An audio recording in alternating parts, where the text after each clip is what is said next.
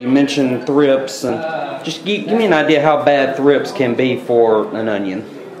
Uh, thrips are the primary insect pest on onions uh, throughout pretty much anywhere onions are grown. In the U.S., it's mostly onion thrips. Here, it's mostly tobacco thrips most year, uh, but they cause similar type of damage.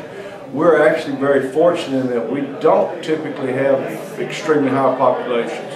When I was in South Texas, a Normal to high population was 50 to 100 thrips per plant. Uh, here, it's rare that we get above about 25 per plant under a heavy year. They can get higher than that, but but they're but they're, they're typically we don't deal with huge pressures here, but they can be. They are a pest that requires control in many years. What kind of damage can they do? They actually, uh, it's called rasping, but they actually puncture plant cells and then drink the fluids as it as it seeps out. But it interferes, basically it interferes with photosynthesis.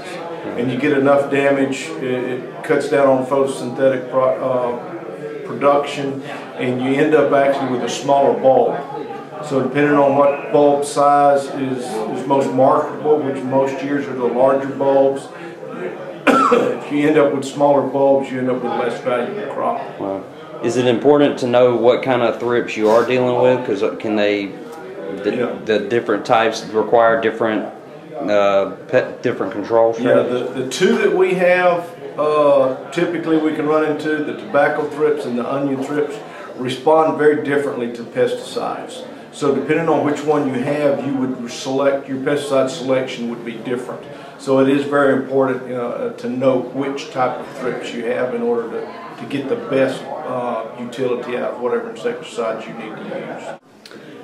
Jason, can you just give me an idea what uh, this uh, Vidalia Onion Conference is all about? Why is it important for you guys to be able to kind of communicate to your growers what's going on in the onion, okay. onion industry? Well, we have this field day um, every year right before our onion harvest really gets kicked off in the full steam.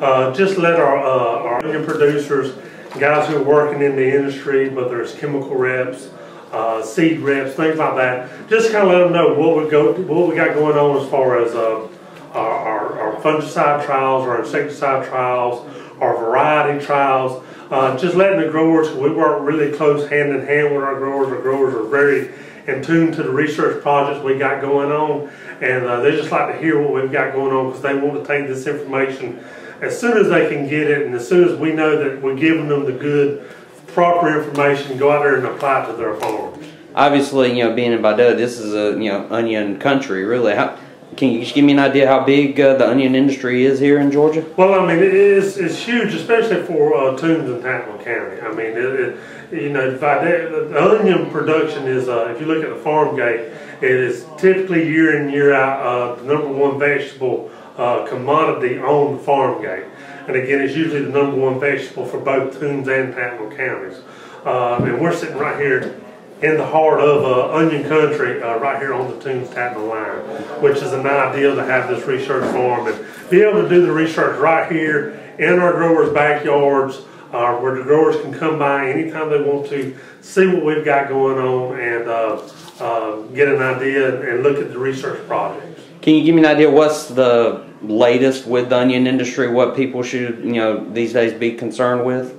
Well, I mean, as far as we, as always, we were trying to put the best product out there. So again, we're working with some of these different varieties, uh, making sure that we've got the best quality onion, the best varieties out there for our growers uh, to grow so they can produce the absolute best product in the industry and continue creating this Vidalia onion, which is the world famous and the most sweetest onion in the world. And also just, you know, we're trying to keep them on the cutting edge, making sure that, you know, if we do ever run into disease problems, if we ever do run into insect problems, hey, we're doing the research, the research is out there, to, you know, that we can hopefully, if we do run into these problems, solve them quickly and uh, uh, get the farmers, you know, being profitable.